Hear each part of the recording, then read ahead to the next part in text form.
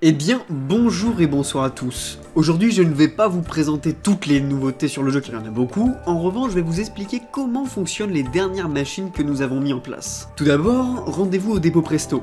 Dans la catégorie professionnelle, vous retrouverez trois machines. Elles sont évidemment chères, c'est pour lancer une nouvelle activité. Il est fort probable qu'à l'avenir, celle-ci soit à vendre dans un autre magasin. Là, je suis dans la version 1.31 du jeu. Je vais prendre les trois et vous les présenter une à une. Les deux premières machines servent à transformer des bûches en planches. Pour la première, vous disposez donc une bûche dans la machine, puis vous attendez que celle-ci fasse le travail. Une fois terminé, vous pouvez récupérer les planches et remettre une bûche à l'intérieur pour relancer le cycle. Pour la seconde, c'est le même fonctionnement sauf que cette fois-ci c'est automatique. Vous disposez le nombre de bûches que vous souhaitez dans la machine, puis celle-ci fera tout le travail. Vous pouvez récupérer à tout moment le résultat de sa production pendant qu'elle est en marche. La troisième machine est différente, il s'agit d'une machine d'assemblage. Elle sert donc à concevoir des meubles de manière automatisée. Avec les planches précédemment produites, utilisez la machine, choisissez le meuble que vous souhaitez produire et le nombre de meubles à produire. Par exemple, ici je souhaite produire cette chaise qui demande 5 planches et j'en veux 4. Cela me coûte donc 20 planches. Vous pouvez à tout moment pendant la production demander encore plus de chaises.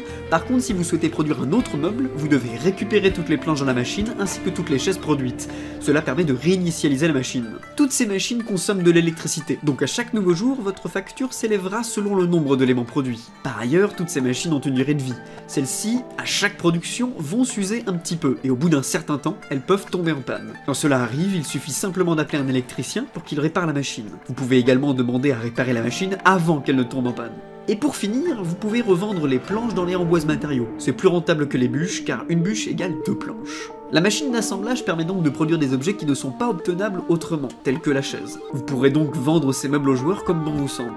Tout ce fonctionnement demande beaucoup de main d'œuvre. Si vous souhaitez avoir une chaîne de production intéressante, il faudra donc du monde au bois pour alimenter les machines, du monde pour les faire tourner et les maintenir en vie, et également du monde pour le transport et la vente. A vous de vous organiser pour faire la meilleure entreprise possible et la plus rentable. De nouvelles machines arriveront par la suite avec de nouveaux objets uniques. Là, il s'agit du début de ce nouvel ère industriel, donc ça va beaucoup évoluer. Bon jeu sur Nova Live, je rappelle que celui-ci est gratuit et disponible sur Steam. Et sur ce, je vous dis salut à toutes et à tous.